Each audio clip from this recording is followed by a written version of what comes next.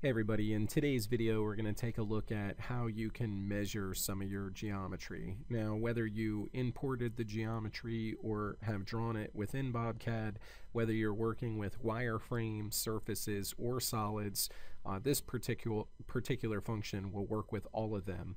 Uh, you're going to find this under the Evaluate tab up at the top of the screen.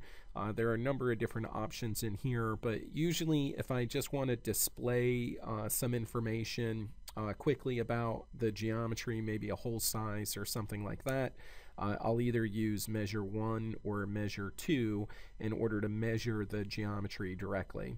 Uh, if I choose measure 1, I can move my mouse over any entity.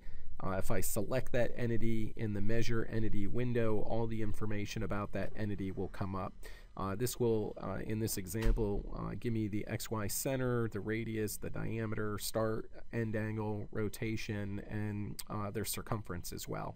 So this is a very handy tool uh, to be able to inspect your geometry and find out some information about it quickly in order to either validate your design or to help you with your programming process.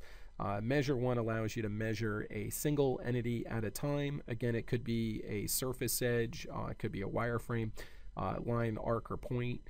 Uh, measure 2 also allows you to measure between two entities. So if I wanted to find out what the distance was between this line and this line, I can select those two lines and uh, dimensional flags will come up uh, providing information about that specific geometry.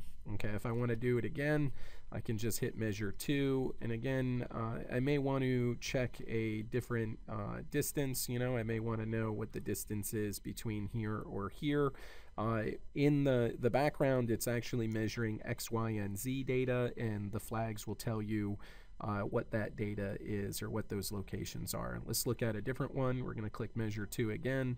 We'll hover over this arc. We're going to grab one of these locations. We're going to scroll down to this next one. We're going to grab another location. And again, we're able to measure between uh, those two snap points on the screen.